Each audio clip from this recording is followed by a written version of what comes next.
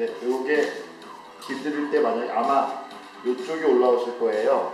잘 보이실지 모르겠는데 어두워서 이렇게 올라오면요. 요거를 일단 이 펠트를 잡아가지고 여기 튀어나오는 부분이 라인이 잡혀야 되니까 손으로 이렇게 눌러줘요. 이렇게. 이렇게 라인이 잡히게. 그래야지 들어가니까. 그리고 여기에 라인은 아까 튀어나온 여기, 여기 주름이 간 거는 아마 이 엄지 쪽에서 같이 주름이 가기 때문에 그렇게 가능을 한 거거든요. 그러니까 여기랑 여기랑 별도로 움직이게 멀 기준으로 이렇게 차가 올라가면 여기 손등에 이 선을 기준으로 별도로 움직이게 만들어야 되고요. 이 위쪽은 다른 곳이라고 생각하시면 돼요.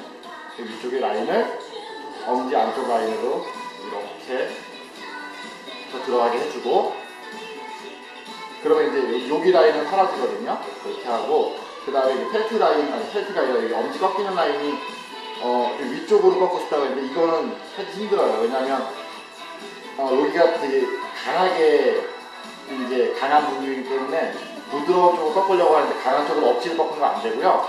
헤드로 같은 경우는 아마 두 칸 쪽으로 가야지 길이 잘 되거든요. 그러니까 두 칸으로 길들이고 손을 글러브에 조금 편하게 하- 맞출 수 있는 방향으로 잡는 것도 괜찮은 것 같습니다. 이렇게 누르고 여기가 일단 편해지면 여기 움직임도 편해지니까요.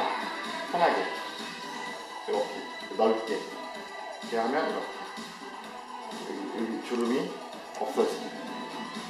지금은 안 보여서 잘 모를 거예요. 다음에 다시 해보고 안 되는 글 남겨주면 그건 다른 해결법 가르쳐 드리겠습니다.